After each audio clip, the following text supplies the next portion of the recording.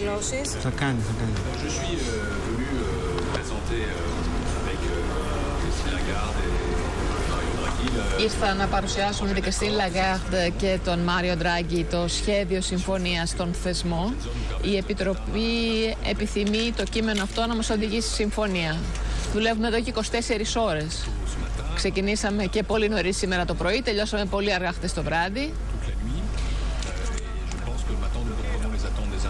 Νομίζω ότι πλέον έχουμε ένα έγγραφο που επιτρέπει να αποτιμήσουμε την κατάσταση, μεταρρυθμίσεις που είναι ευκταίες, αλλά και κάποιες οικονομικές δεσμεύσεις από πλευράς Ελλάδος.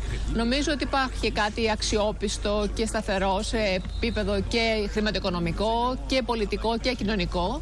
Συνεχίζει η εργασία βέβαια προκειμένου να καταλήξουμε σε μια συμφωνία που θα είναι καλή.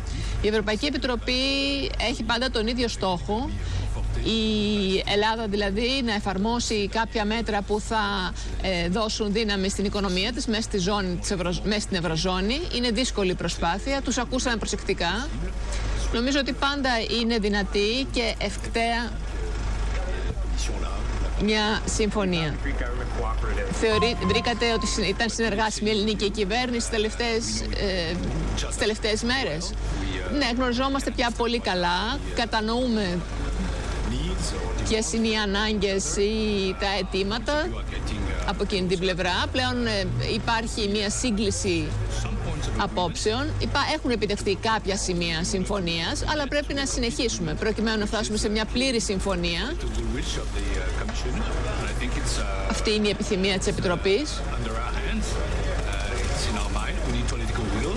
Χρειάζεται βέβαια και πολιτική βούληση. Είναι, το έχουμε υπόψη μας προκειμένου να επιτευχθεί η συνεργασία και νομίζω ότι οι επόμενες ώρες θα είναι κρίσιμες γιατί γνωρίζουμε πλέον ότι ο χρόνος εκλείπει. Ξέρετε τι δημιουργείται και ποιες είναι οι θέσεις του τραπεζικού συστήματος και ποιες ανησυχίες δημιουργούνται. Θα φτάσουμε σε συμφωνία, λέει ο Επίτροπος.